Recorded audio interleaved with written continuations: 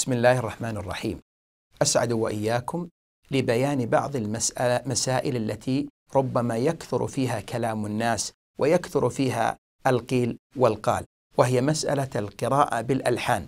لا شك أنه ينبغي لقارئ القرآن أن يحسن صوته بالقراءة وأن ذلك من المستحبات ومن المشروعات أن يحسن القارئ قراءته. وقد حكى النووي وابن قدامة الإجماع على استحباب أن يقرأ القرآن آه، غضا طريا ولهذا قال صلى الله عليه وسلم كما عند البخاري وغيره ما أذن الله لشيء أذنه لنبي حسن الصوت يتغنى بالقرآن. وقال صلى الله عليه وسلم كما عند البخاري ليس منا من لم يتغنى بالقرآن. ومن الملاحظ أن كثيرا من القراء في المساجد ربما إذا أراد أن يقرأ فلا يقرأ إلا بعينه ولا يحرك شفتيه.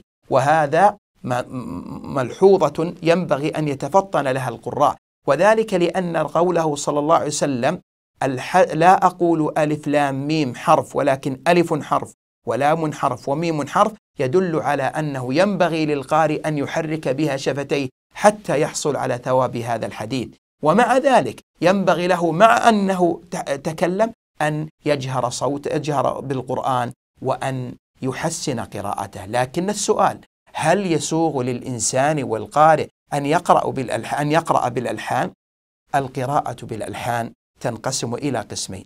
القسم الأول أن يقرأ باللحن الذي يكون فيه أكثر تمديدا وأكثر مدا بحيث يجعل الحركة الفتحة ألفا والضمة واوا والكسرة ياء. فهذا من مما أجمع عليه أهل العلم على أن ذلك غير مشروع وأن ذلك ممنوع ومحرم.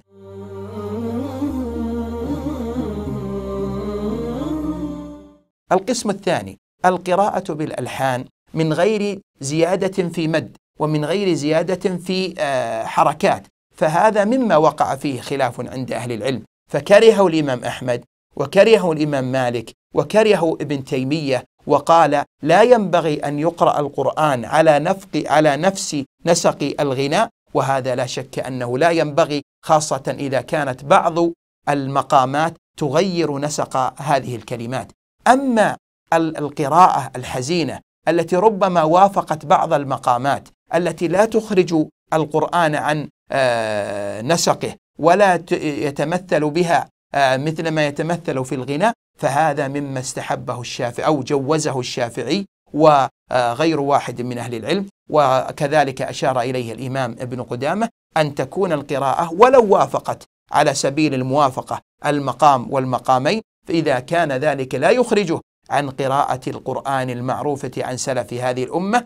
أما التطريب المبالغ فيه فهذا مما نهي عنه. ولأجل هذا لما دخل رجل على أنس وهم القراء فجعل أحدهم يقرأ وفيه نوع من التطريب وكانت هناك آه، خرقة على وجه أنس بن مالك فلما سمعه أزال الخرقة فقال يا هذا ما كانوا يقرؤون بمثل ذلك. فهذا يدل على أنه لا ينبغي للقارئ أن يخرج القرآن عن نسقه وأن يشابه به بعض المقامات التي تشبه الغنى. وأما بعض المقامات التي تسمى مقاما وهي قراءة حزينة كالحجازي أو كالصبا أو بعض القراءات المقامات فهذا إذا وافقها من غير تنطع ولا زيادة فالأصل فيه الجواز بشرط ألا يقع عند تعليمه وتعلمه في محظور لأنه يوجد عند بعض الناس هداهم الله.